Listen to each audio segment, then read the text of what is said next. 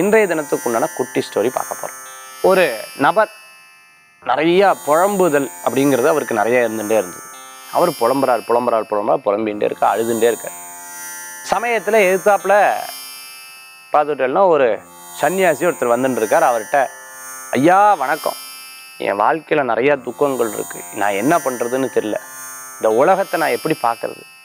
இறைவன் வந்து எனக்கு ஏன் கண்ணை படைச்சான்னு தெரியல. இந்த உலகத்தை நான் பார்த்துட்டு இருக்கிறது ரொம்ப கொடுமையாக இருக்குது பார்க்குறவா பூரா தப்பாகவே தெரியறாள்.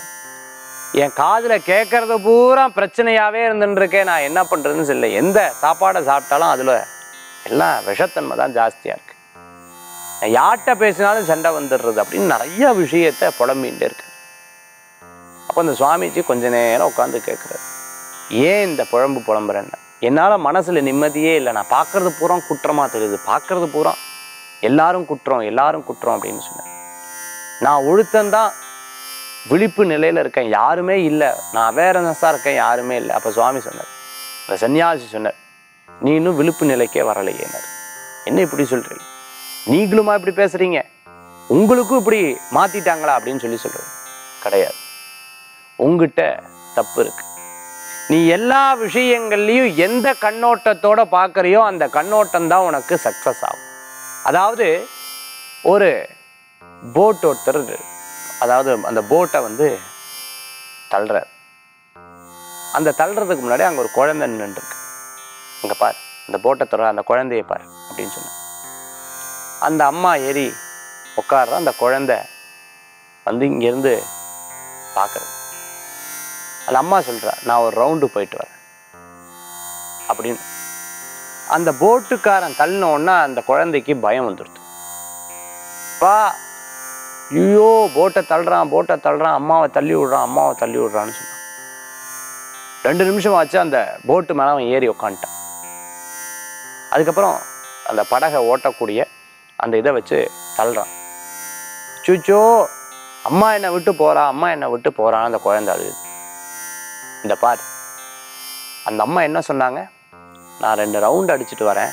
நீ வரமாட்டேன். நீ சின்ன குழந்தையா இருக்க வேண்டாம். பயந்துப்பேன். நான் ஒரு ரவுண்ட் அடிச்சுட்டு வரேன். அப்படின்னு சொல்லிட்டு போகிறான் அப்பா கூட தான் நின்றுருக்கா முதல்ல அந்த போட்டை அவன் தள்ளும்போது அந்த குழந்தை என்ன நினச்சிட்டு ஐயோ அந்த அம்மா உட்கார்ந்துட்டு இருக்கிற போட்டை இவன் தள்ளி விடுறானேன்னு நினச்சிருந்தது. ஆனால் அப்படி இல்லை. போட்டை தள்ளி அதுக்கப்புறம் தான் அவன் ஏறி உட்கார முடியும். அதுக்கப்புறம் ஆஹா அவன் தள்ளி விடலைங்கிற நம்பிக்கை வந்துடுது. போட்டை ஓட்டும் போது அம்மா போகும்போது என்னை விட்டுட்டு போறா அப்படின்னு நினைச்சிருச்சு அந்த குழந்தை. ஆனா கிடையாது. போயிட்டு திரும்பி வந்ததுக்கு அப்புறம் பார்த்துட்டுனா அம்மா விட்டுட்டு போகலன்னு தெரியாது. இந்த மாதிரி தான் அந்த காரியத்தை நீ தவறாக எடுத்துக்கொள்கிறாய் அந்த காரியம் நடந்து முடிந்ததுடன் அதுக்கப்புறம் அதில் இருக்கக்கூடிய சில விஷயங்கள் உனக்கு புரிய வந்துடும் புரிஞ்சுதுன்னா அது சரியாயிடும். அதனால வெள்ளை சட்டையில எப்பவும் கருப்பு புள்ளி பார்க்காத. வெள்ளை சட்டை இருக்கு. கருப்பு புள்ளி யதார்த்தமாக இருக்க தான் செய்யும்னு சொன்னோன்னே அவருக்கு கொஞ்சம் மன ஆறுதல் வந்தது. இந்த ஆறுதலை தொட்டு நீ அப்படியே பிரயாணம் பண்ணி நிச்சயம் வெற்றி கொள்வான்னு சொன்னார். கொஞ்ச நாள் கழிச்சது அதே சன்னியாசியை பார்க்குறார் சுவாமி. உலகத்துல எல்லாம் சந்தோஷமா இருக்கா? எல்லாரும் நல்லா இருக்கா? நான் அதை விட சந்தோஷமா இருக்கேன். எல்லாரும் நிம்மதியா இருக்கா? நானும் நிம்மதியா இருக்கேன். இதுதான் உனக்குள்ள ஏற்பட்ட மாற்றம்னு சொல்ல இந்த மாதிரி நம்ம லைஃப்பில் பிரச்சனைகள் என்பது இருக்கும். அந்த பிரச்சனைகள் ரொம்ப நம்மளை மனசுல தாங்கின்னு இருக்கா? மனசுல போட்டு வலிச்சுன்னு இருக்கா? கொஞ்சம் அதை ஒதுக்கி வச்சுட்டு அடுத்த வேலைக்கு கான்சென்ட்ரேட் பண்ணுங்கள் அது சக்ஸஸ் ஆகிடும் நான் கவலையே பட வேண்டாம். இன்றைய குட்டி ஸ்டோரி ரொம்ப பயனுள்ளதாக இருக்கும்னு நினைக்கிறேன்.